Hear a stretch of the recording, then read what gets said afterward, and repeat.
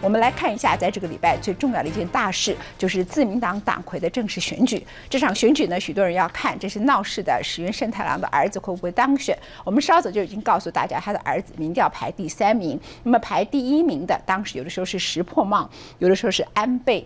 那么最后呢，当选的是安倍。安倍的当选是不是代表整个鹰派全面的抬头？目前为止，非常值得观察。九月二十六日，日本自民党要选新党魁。爽やかな気分ですね。听起来安倍胜券在握，只是选前民调前防卫大臣石破茂一路领先。就像台湾人考试时要吃粽子，日本人参加竞赛时则要吃与胜利谐音的炸猪排。大概是想赢的心太迫切，石破茂吃猪排吃到呛到。 吃完了胜利猪排，就要来办正经事，看看猪排老大加持的是谁呢？自民党党魁选举第一轮投票是由一百九十九名自民党国会议员以及三百名地方党代表一同参与。安倍晋三君八十七票。不出所料，第一轮的投票没有人的票数难过半，必须由得票第一以及第二高的候选人进行决战。然而这一回合，只有国会议员有投票权，地方党代表只能在台下干瞪眼。安倍晋三君百八票，石破茂君八十九票であります。安倍晋三君が当選者と決定いたしました。 这真的是出人意表的结果，人气王石破茂的脸都绿了，竟然败在民调原本排老二的安倍晋三手上。有権者の方々に一番近い党員の方々が過半数を超える支持をいただいたってのは政治家としてこんなに幸せなことはない。 石破茂在第一轮投票时获得多达一百六十五张地方党代表票，而安倍晋三却只获得八十七位地方党代表的支持。偏偏石破茂不得多数派阀大佬欢心，所以当决选只剩国会议员投票时，才会败下阵来。一回目も二回目も今回は石破候補に一票投じました。ルールにのっとって戦った結果ですから、それはしっかり受け止めなきゃいけないと思います。 秋田県連では県連会長など役員4人が民意が反映されていないとして役職を辞任する意向を示しています。石破さんがなるかと思って私も石破さんの方が良かったな。そうですか、ね、なんでですか？でもこんなこと言っちゃ悪いんですけど、はい、いい、はい、だってこの人辞めたんですよ途中で。戻ってきたのだからより頑張ってほしいかな。前より前の反省を生かしてというか頑張ってほしいなっていう感じがします安倍晋三确实有过不良记录，外公是与美国签订安保协定的已故前首相安信介，父亲安倍晋太郎生前当过外相，子承父业，平步青云的他在二零零六年九月风光成为战后最年轻的日本首相。美しい国、日本とするため挑戦していく覚悟であります。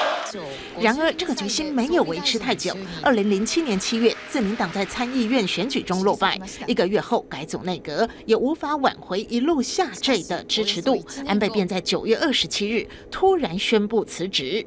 総理の職を辞するべきと。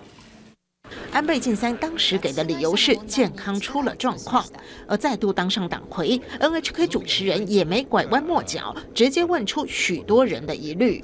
体の方の心配もありませんか？あの、まあ体が良くなったから出たということではないんですが、まあそもそも体についてはまあ2年前、まああの私は介護してた人という。 自己在地方上的名望输给了石破茂，安倍也是心知肚明。当选党魁隔天就宣布任命石破茂担任自民党干事长。その声に応えるという意味においても、総裁のご要請というのは当然受けなければいけない。一体感を党員お一人お一人に持っていただけるような。そういう党員呼吁党员要超越党魁选举的结果，因为最关键性的一场战役还在后头呢。 強い執行部選挙に向けて強い執行部どう作っていくかよく考えていきたいと思います。あと一歩のところまでは来てるんですがやっぱりあの最後の一歩。自民党在两千零九年由于麻生内阁屡屡爆发丑闻，又在众议院选举中遭遇历史性惨败，席次由选前的三百席急剧缩水到一百一十九席，痛失政权。 经过了三年，即将到来的众议院选举被自民党视为是夺回执政地位的重要机会，因为目前执政民主党声望萎靡。根据日本经济新闻二十八日公布的民调，在接下来的大选中，自民党得票率会是民主党的二点五倍。既然当上了自民党党魁，就是下届首相最热门人选，也就极有可能要收拾钓鱼台的烂摊子。いわば日中間には領土問題はない 尖閣は我が国の固有の領土である覚醒している。中国に間違ってはいけませんよ。この実効支配を私たちは絶対に手放しませんよという態度を示していく。安倍虽然频频唠狠话，毕竟还要选举嘛。回想他六年前一当上首相，第一个出访的国家不是美国，而是中国。此后更提出战略互惠关系，沿用至今，还修复了小泉纯一郎坚持参拜靖国神社而严重恶化的中日关系。所以日本有报道说，中国私下对安倍的评价还不错，至少比石破茂好。普通にできること、世界中でやってることはですね、日本もできるようにすることによって、日本は より平和を手に入れることが NHK 新闻表示，安倍决定卷土重来角逐党魁，就是为了推动修改宪法。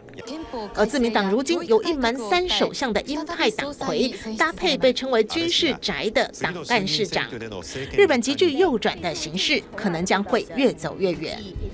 虽然日本现在也有反省的声音，大约五百名日本市民发动联署，包括被称为日本社会良心的诺贝尔文学奖得主大江健三郎。这份联署反驳了日本政府的立场，认为主岛以及钓鱼台都是日本趁着韩国以及中国最脆弱时占领的。但是这份联署，包括公共电视 NHK 在内的日本主流媒体，全都只字未提。